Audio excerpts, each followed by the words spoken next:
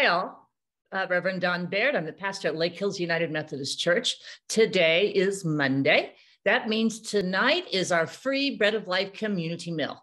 Now, normally, because it's a holiday and uh, the Bandera ISD, they did not have school today. Normally, we followed their calendar and we wouldn't have been having this meal. But we've got a special thing also going on at the church tonight.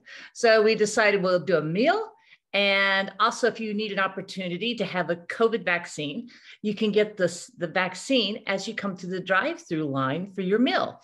So, we're actually going to be starting the meal tonight at 4 p.m. rather than 5. So, 4 p.m., it's drive up, pick up. We're doing picnic in a bag. So, you get like hot dogs and coleslaw, just like all the picnic fixings. Okay.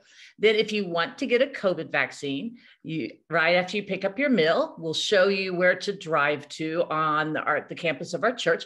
You don't even have to get out of your car to do the vaccine. So it's just you'll drive up, they'll give you paperwork, log you in, you'll put your arm basically through the window, right? Please have the window down, but you'll put your arm on the uh, through your window. They'll give you the vaccine. Wait a few minutes, and then you're good to go. Now they're doing Moderna and Pfizer. If you've had that before, bring your shot record if you can. It's for 12 year olds and up. You can get the first vaccine, second, or your booster. And if you have any questions, feel free to ask us.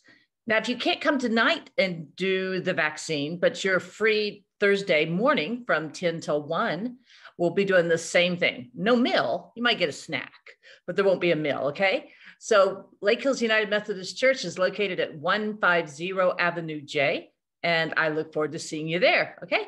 Have a great afternoon. Bye.